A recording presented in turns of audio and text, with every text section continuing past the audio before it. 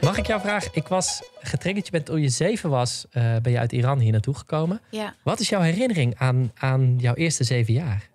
ja, dat is zo gek. Want het, het wordt best wel vaak gevraagd inderdaad... van weet je nog veel van die tijd? En ik denk altijd, ik weet niet zo heel veel van mijn zevende. Ik weet niet Nee. of jij nog veel weet van toen je zeven was. Ja, dingetjes. Dus Ja? dus, eh, ja, de- de- dat ik altijd met mijn opa ging fietsen. Ja, ik van die Eh, gekke kleine ja. gedetailleerde dingen. Frietjes eten bij McRoy. Dat is zo een, een, een- de- de- dat, soort, de- dat soort kleine dingen. Maar ook dat, dat, ja, gewoon hoe het thuis rook. Of Dat heb ik het, dus eh, ook. Ja, Want ik kan dus echt, als ik dan, als ik echt moet terugdenken, dan, dan zie ik hele gedetailleerde stukjes. Dan zie ik bijvoorbeeld dat ik altijd mijn vaders pink vasthield bij het oversteken. Dat Ja. weet ik nog.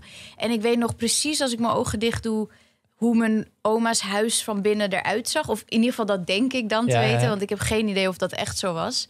Ehm, en hoe het er rook inderdaad. Het was een soort hele zeperige geur, heel erg heel schoon, zeepachtig. Ja.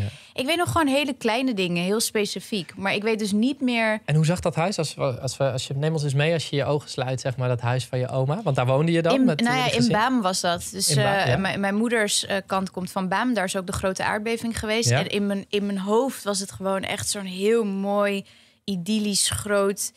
Nou, paleis was het vast niet, maar als je klein bent, denk je dat al- alles ja. heel groot is. Maar ik weet nog, dan zie ik zo de gang vormen dat je binnenliep. En dan kamers links, een grote woonkamer en een keuken achter met de trap naar beneden. En door de acht, als je dan helemaal naar achter liep, dan kwam je in een grote tuin met een schommel. Maar ik heb dus geen idee, want dat is, vind ik zo mooi aan, aan, aan ons brein. Dat je gewoon nooit zal weten of dit echt zo was of niet. Maar dat is hoe ik het heb opgeslagen. Ik heb dat, ik ben denk een jaar of zes geleden terug. Wij gingen, ik ging altijd met mijn opa en oma op vakantie in Luxemburg. Ieder jaar. En dan stonden we op een camping. En dat, was, dat vond ik echt fantastisch. En in mijn herinnering was dat zo groot en zo Ja. meeslepend. En dat, dat was echt een koninkrijkje. En daar ben ik een jaar of vijf geleden teruggegaan. En dat bleek gewoon een veldje te zijn aan een, een, een, een beekje. Niet eens echt een rivier. Maar in mijn herinnering was dat ook een, een woeste rivier met een enorme boerderij erbij. Maar Ja. wat je brein doet en over hoe Ja. je positief, hè, zeker als kind, hoe je, ja, je fantasiewereld ook je echte wereld, eh, je echte wereld wordt. Dus die, die zeperige geur in Mhm. Iran bij, bij oma. Mhm. Eh leefden opa en oma allebei daar? Ze Of- leefden allebei daar. En eh, sowieso, Iraanse mensen zijn natuurlijk heel erg van familie. Dus iedereen was altijd bij elkaar. Ja. Wij waren wel echt. Maar het, het, wat ik het allerergste vind, zeg maar, aan, aan als ik nu terug zou gaan naar Iran, is dat ik ook niks meer heb om naar terug te gaan. Omdat de aardbeving in, eh in Baam is, eh, is gebeurd. En eigenlijk alle huizen zijn toen vernietigd. En ook mijn moeders familie is toen omgekomen. Dus er is natuurlijk, en mijn vader is overleden. En er is niet zoveel om meer naar terug te gaan. Is je hele familie, de hele familie van moeders kant Ja, om het leven gekomen? Bijna iedereen. Alleen mijn tante en mijn oom en mijn twee nichtjes die in, eh, in Teheran wonen. Ja. En mijn tante's zoon die in een ander dorpje woont, Ja. die niet, maar verder iedereen. Ja, het is zo bizar, want ik weet ook nog die nacht dat dat gebeurde, was rond kerst. En dat dat dan, dat, dat zei mijn moeder laatst, dat je gewoon in, in 50 seconden is gewoon een heel groot stuk erfgoed. En alles, alles wat, wat zo'n, het is ook UNESCO beschermd, Ja. eh, dat stuk, dat is gewoon weg. Ja.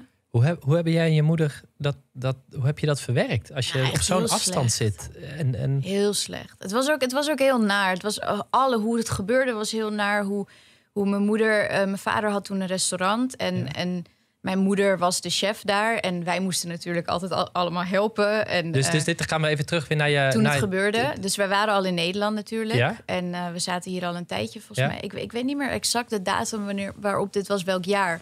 Maar het was rond kerst. En ik Ja. weet nog dat mijn moeder aan het koken was in dat restaurant met een soort kerstperiode.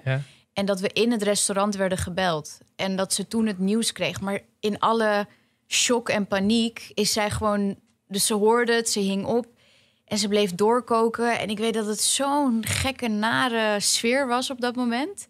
Ja, en hoe ga je... Dat, heeft echt jaren geduurd voordat mijn moeder daar weer normaal mee kon omgaan. Wat zijn jullie terug geweest nog? Da, da, da- na die aardbeving? Na de aardbeving Om- zijn we om- één keer terug geweest. Dat was ook echt verschrikkelijk. Want moet je voor, ja, weet je, ik was daar sowieso nog nooit eh, sinds we weg. We zijn in ehm, de revolutie was natuurlijk in 79. Nou, mijn moeder is toen jaren later heeft ze pas besloten toen ik zeven was van nou nu ga ik echt de stap Ja. nemen, nu ga ik weg.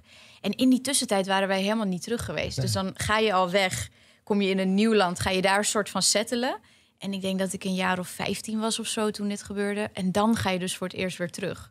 Dus dan heb je en de shock van überhaupt weer teruggaan naar het land waar je vandaan komt. Maar ook nog eens de ellende van dat er niemand meer is eigenlijk om naartoe Wow. te gaan. Ja. En, en in je puberteit, 15 jaar is Ja, nog joh, een ik was al leeftijd waarin je... Ik, ben, ik heb een hele heftige puberteit gehad in die zin dat ik was heel vatbaar voor eh, depressies en überhaupt voor mentale issues. En dat, ik vond het sowieso heel moeilijk, puber zijn. Ja? Ja, Wat was het moeilijkste als puber, om puber te zijn? ik kon gewoon mijn plek niet zo goed vinden. In, in de groep, in een klas Nou, of, of in, dat- in het leven? In het leven. Ik vond, ik heb, en dat heb ik altijd al wel. Ik ben best wel ehm, zwaar.